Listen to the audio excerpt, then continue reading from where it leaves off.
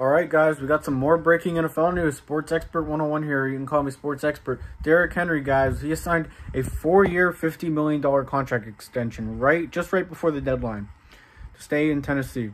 25.5 million will be guaranteed in the deal. Wow, it's going to be 12.5 million a year. I think it's a great deal for the Titans. I don't know what you guys think. I think it's a great deal. Here's why. You see Christian McCaffrey getting 15, 16 million a year. Usually, the player behind him with the, that's going to get a contract next asks, for more money. They ask for around the same. They want to break the bank. Derrick Henry, he was like, all right, just give me my 12.5 million. I'll play for you guys. I'll be loyal. See, that's what he did. That's a great, great move by the Tennessee Titans.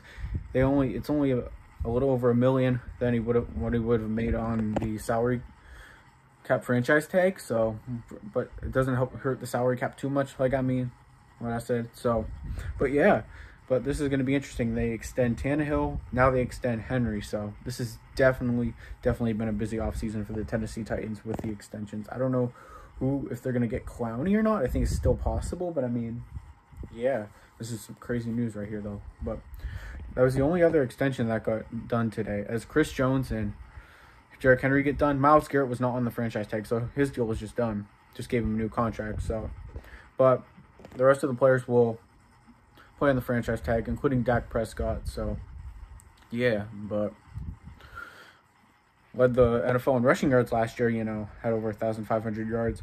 Nick Chubb, you know, my Browns running back, actually had the most rushing yards in football in the whole season except for Week 17, which just hurt, man. Dang, that hurt. Thought Nick Chubb was gonna win that rushing title, you know, but yeah.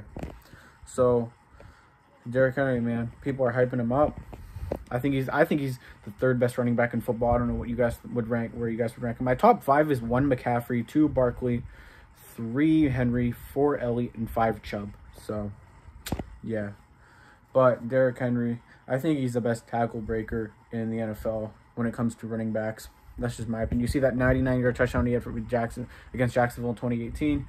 You see what he's done with, against New England and Baltimore in the playoffs this past season. He's crazy. He you could argue he carried them. I still think Ryan Tannehill played some great football, but I mean Derrick Henry contributed to most of that success. You could argue so, but it wasn't